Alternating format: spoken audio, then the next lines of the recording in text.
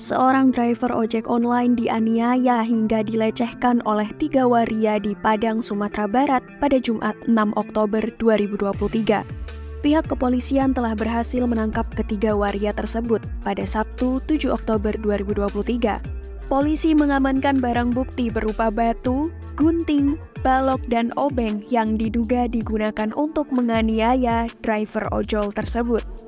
Kapolsek Kota Tangah AKP Afrino menjelaskan, korban berinisial R bertemu pelaku HS 38 tahun dengan tujuan menjual gadgetnya secara COD.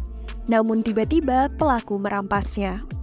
HS dibantu AP 25 tahun dan JN 30 tahun yang juga waria menganiaya R hingga tidak sadarkan diri.